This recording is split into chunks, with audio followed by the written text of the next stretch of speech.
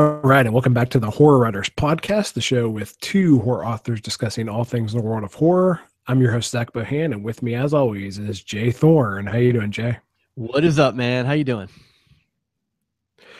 I'm doing great. Can't complain. Been staying really busy, so just uh, yeah, really, really glad we're back and back in the swing here in 2016 recording some new episodes. So it's, yeah, a, it's a lot know, of fun. it, it's i think it's worth saying i think we mentioned this on the on the year end wrap up show but i think we had both sort of had an unofficial uh, pilot run. We, we said we were going to record through the end of 2015 and then kind of see what the response was and see if people were digging it. And uh, it seems like they are. So it's really fun to kind of be on the other side now on in 2016 and recording new stuff and feeling pretty good about it Right on. That, yeah, I'm I'm totally with you. This is this is a lot of fun, and we're glad that you know we got people, you know, everyone who's stuck around with us and stuff. We we really appreciate it. So, so before we get in the topic today, I'm gonna throw a little curveball at you. Um, and uh, bring it. I just yeah, I just kind of want to ask you: uh, is, is there anything cool that you've uh, you know maybe read lately, or that you've you've any movies you've watched or anything, anything cool like that? It's okay to say no. Um, yeah, I, I, yeah, I mean, I well, we've kind of mentioned this, and our Irish friend in uh, in Ohio yeah. is getting a lot of airtime on the show. But uh, my timing might suck with that question, but yeah, that's okay. uh, yeah, I mean, I, I just recently finished uh, Sour Candy, the new title by Kealan, which uh, was really phenomenal, and and it was really excellent, and uh, and and that was well worth it. And uh, the other thing that um, pretty recently. Uh, I finally got through the third and final season of Hemlock Grove. Um, nice. So that was fun. I, I don't know how I felt about it. I mean, I, I, I think it. I think I sort of knew it was going to head that way, and I won't spoil. Uh, it was it's it's totally worth it. I just uh, I'm not really sure what I expected, but it was totally worth it. Um, great great stuff, and uh, and and related to that, um, I just saw news that um, Deadwood has been um, yeah optioned for uh, a film. Uh, and th- this was one of my, and I think this was on before you and I knew each other. And I've, um, I love that show. Uh, that was an HBO show, and and people were pretty upset when it when it was canceled. And uh, so bringing back the cast for a movie, oh, I can't wait for that.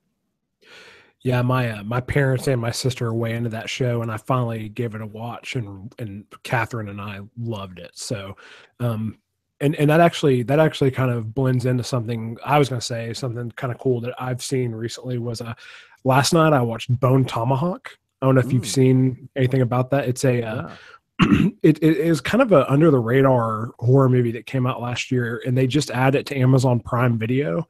Um, but it's a it's a Western horror movie with a fantastic cast. Mm. Um, Kurt Russell stars in it um, with um, Patrick Wilson from The Conjuring and Watchmen. Oh yeah. Uh, and it's it's also got some some fun little cameos in it. Like the movie starts off, it's got Sid Haig and David Arquette in it.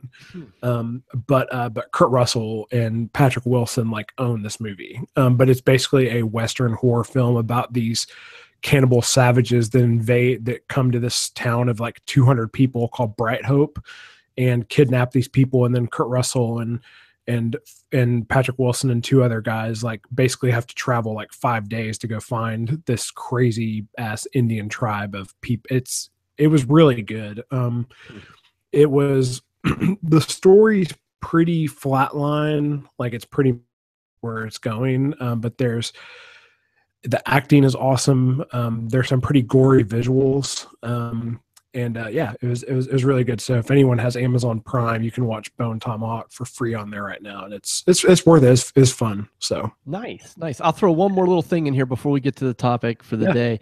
This is totally this is totally off the radar, and people listening to this podcast will will not maybe not even relate to this, but. Um, my kids are a little bit older now, and so um, we're using Netflix and we're watching some some what well for, for them will be classic TV and we are in episode four of The Office, the American the American version, and and from a writer standpoint, from a storytelling standpoint, I am blown away by um, by the writing. I mean, seeing it again and and how clever and efficient they are with the writing, it is phenomenal. So not anything horror related, but um, just something I've been watching now and just blown away by. It's funny you brought that up because I've been rewatching the first four seasons lately because that's like my that's my favorite comedy show ever. So that's what um, she said. uh, dude, I could do a whole show about The Office.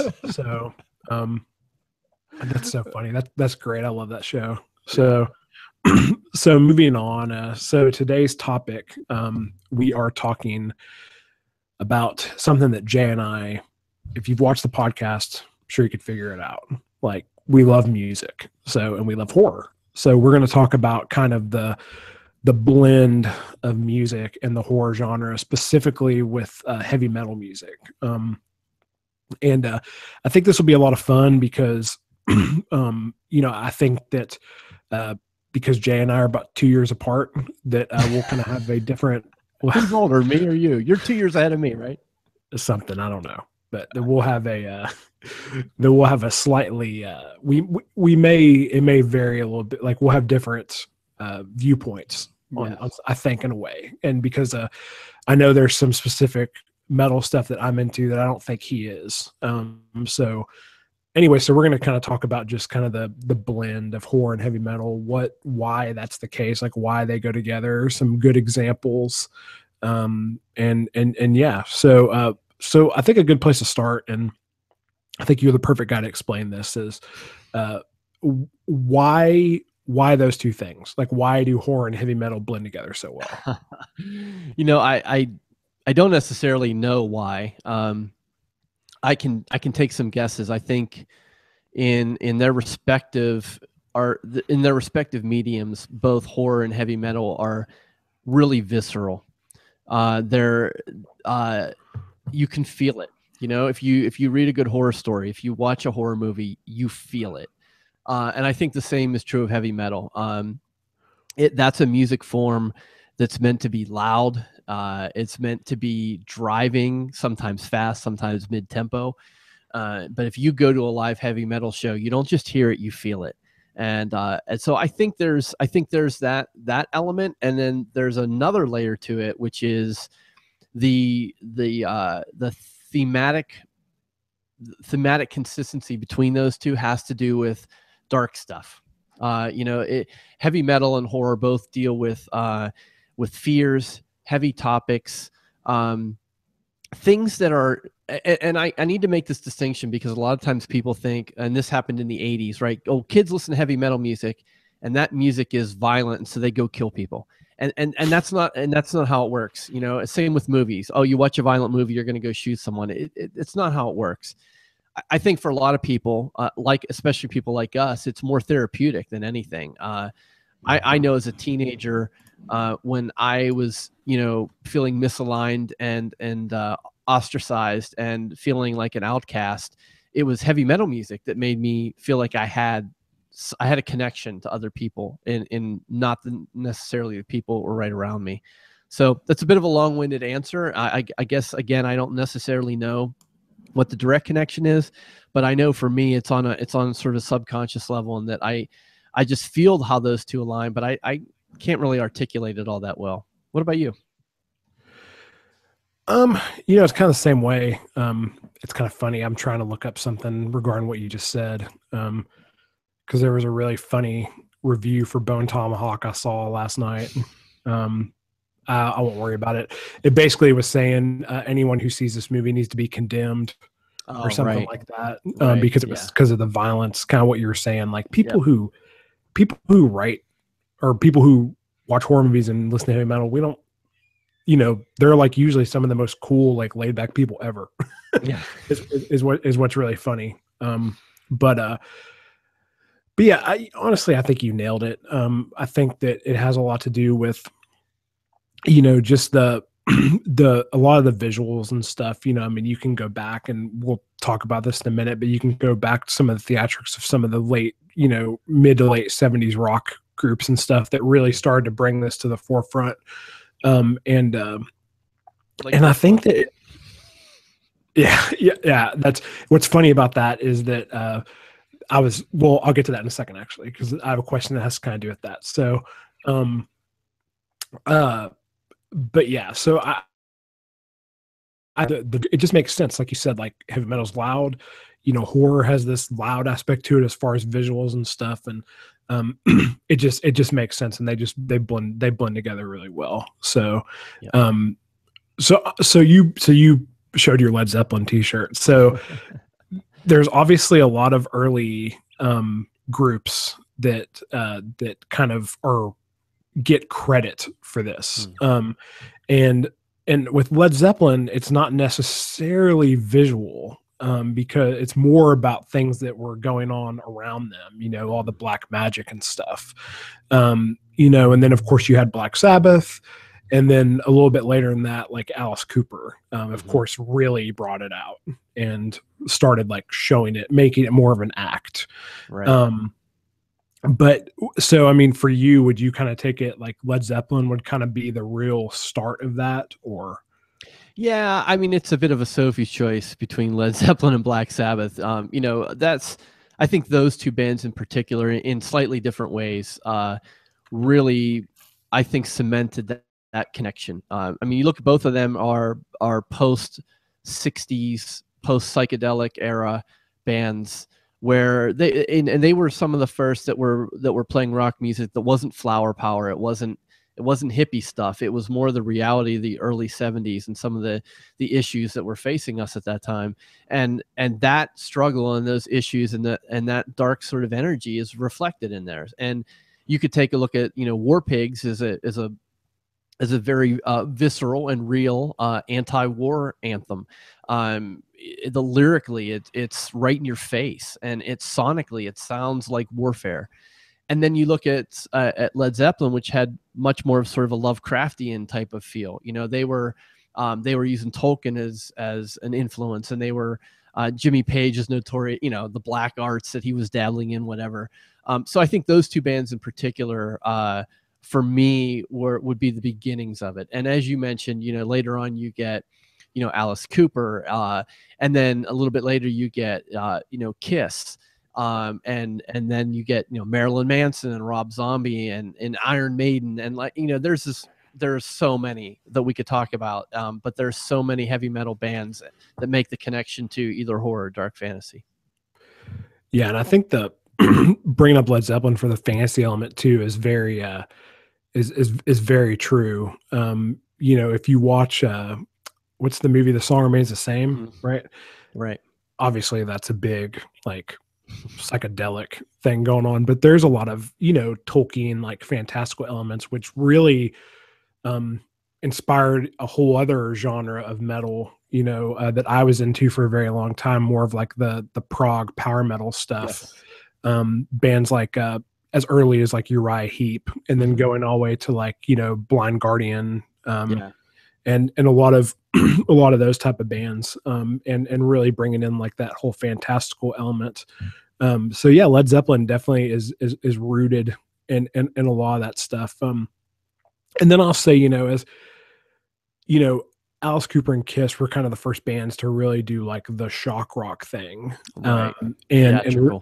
Yeah the, the bring the theatrics out and uh you know and then and then later on you mentioned manson you mentioned zombie like stuff that pretty much everyone um uh knows about but then there were a lot of bands you know kind of um in the early 90s early to mid 90s you know there was a huge like that was like the peak of the death metal era Mm. um, which is really uh, which is really rooted in in horror as well. I mean, if you go read as as ridiculous as it is, you know, but um, if you want to get really extreme, you know, go read some of like Cannibal Corpse lyrics and stuff, and uh, it's like straight up horror. Um, and and you know, um, you know, there a lot of bands from that era, Obituary, Malevolent Creation, Carcass, like all these bands. Uh, you know, Carcass, like their all their stuff is pretty much like these medical horror stories going on and stuff. Um, and then, uh, you know, we'd be very remiss if we didn't at least mention Gwar too, um, which, you know, obviously Gwar is very satirical. Mhm. Um, but, uh, but yeah, another, an, an, another great example. So it kind of, you know, it, it really, um, it hits a, it's, it's a, it's a wide spectrum. Um, and another thing that was going on in the early nineties, um, and this is like true horror stuff was the norwegian black metal scene Right. um got way out of hand like there's a there's a great book you can read called lords of chaos Um, and uh, if anyone's just interested, uh, Lords, of, i- i- even if you're just interested in like true crime or music history in general, um, Lords of Chaos is a great book that talks about all the stuff going on in the early '90s, where um, these guys and bands were like killing each other and stuff, and they were um, there were a lot of suicides, and um, the the most notorious was a guy named Varg Vikernes from a band called Burzum, um, uh, stabbing a dude like 18 times and killing him, and there were stories about guys getting their body parts eaten, like all this crazy shit going on, um, and and really brought that whole black metal stuff to the to the surface. But uh, Yeah, and even even at the same time in the mainstream, uh, I mean, it, the early '90s was a time when Metallica was becoming uh, a household name, more Yeah. mainstream for better or worse, whatever you think of Bob Rock. But the Black album, uh, the breakout hit on that was Enter Sandman, and that video is like a short horror film. yeah, Uh, exactly. so like even even at all levels. So if you had the, the really sort of obscure or more niche black metal stuff, and all the way up to stuff that was being played on classic rock radio like Metallica, um, there there is that connection still remains. Yeah, absolutely. And then, you know, um, more recently, you can look at, um, you know, look at what Rob Zombie's done. You know, yeah, Rob Zombie. Phil Anselmo is, is doing Yeah. stuff, and Kirk Hammett is doing stuff in the horror realm. I mean, yeah, it, it it seems to be a, a, a pretty, it's a it's a it's a very um, accessible parallel track, I think, for a lot of heavy metal artists to kind of step into that side stream of horror, and whether that be movie making or graphic novels or um, or festivals, you know, whatever it happens to be, it seems to be a, a it seems to align pretty well for those guys. Yeah, you're right. Um, you know, obviously Rob Zombie gets a lot of the credit, but you you're right. I mean, there's a lot of other guys. I mean, if you ever want to get the shit scared out of you, um, go to the House of Shock in New Orleans, which Mm. is the which is the haunted house that Phil Anselmo like is like owns as a part of during Halloween. It's fucking crazy. um and uh and and yeah so yeah there and i think he's doing he does like a festival too right like a horror movie and, and music yeah, he just festival did one too. in um, November. I think late November, early December. Um, House with uh, Housecore Records, which is his label. Uh, Yeah. It's in conjunction with that. Mhm. for anyone who's not quite as in the know phil anselmo was uh the lead singer of pantera and uh is more recently the singer of down um super joint and does his own solo stuff as well but he's mo- mostly known for pantera um and he's a he's a huge horror movie fan so Mhm. were you gonna say oh you just said yes okay Yeah, I was agreeing with you. I thought, Yeah. sorry, I thought you were about to start a sentence, but uh, but yeah, and then and then um, you know, kind of like I said, you know, Rob Zombie, like White Zombie, um, you know, really did a, had a lot of theatrics and stuff, and then Rob went solo, and and he's made a whole second career yes. um, um doing movies, and you know, some people love his movies, some people hate him. I'm I think they're hit or miss. I mean, I I Mhm. love Devil's Rejects. Um, I think House of a Thousand Corpses is is is is I don't like it as much as Devil's Rejects, but I do Mhm. enjoy it. I know a lot of people didn't like Lords of Salem, Yeah. um, and he's got a new movie coming out. Um, it just got a called- rated R rating too. He was they were going back and forth on that. So yeah, they were, they were- yeah, that is because they were. It was going to be NC seventeen, and Mhm. uh, you know, it was it was going back and forth, and then, um, you know, the other thing with him is is is whether you like it or not. I mean, like like them or not, but you know, the dude got to remake Halloween, which is Mhm. to put to get that franchise put in your hands. I mean, it's it's a burden, obviously, and and Yep. it showed because a lot of people hated those movies. Um, but uh, but still, like the dude got to remake Halloween, so um, that that right there just kind of shows you what kind of success he has in the genre. And his, like I said, he's been able to make a whole second career um, in in a whole other medium, which is that's pretty cool. Yeah, You know, Yeah, definitely. yeah. So, um, so yeah, that's I mean that's pretty much it as far as what I've got. I think uh, we're kind of run up against the clock a little bit. Um, do you have anything else you want to add or anything on this or? Yeah, I'll, I'll kind of give a shout out to myself, which is kind of odd, but uh, I I have uh, I have another podcast slash video channel called Dark Arts Theater, and uh, the subtitle is the Horror and Heavy Metal Podcast. Uh, so if you are interested in this intersection of of art forms, that podcast it's sort of a passion project of mine. It, it takes a, lot of time without a lot of return, but that's okay because I love doing it. But it's it's all about horror and heavy metal and and and the the connection between the two. And uh, I got a new season in the pipeline and and should be up probably within three to four weeks. So Oh, uh, nice. I didn't know you were getting Yeah. So That's that's, cool. coming.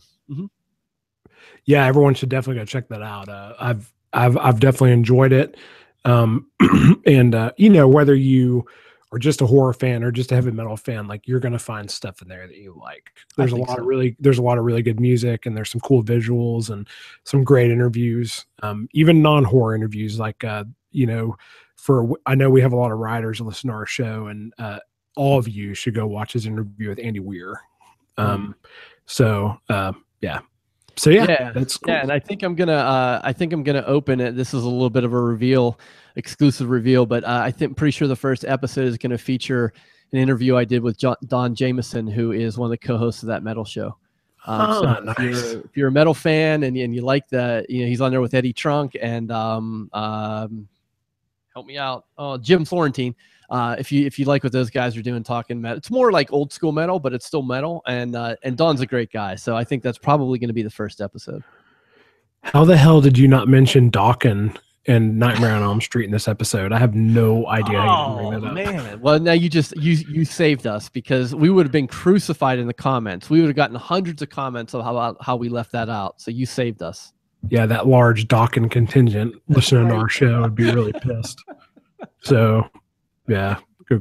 So on that note, um, on that note, we'll sign out, and uh, and yeah, so we will be back next week with an all new episode. All there right. you go. See you later. Later. Bye.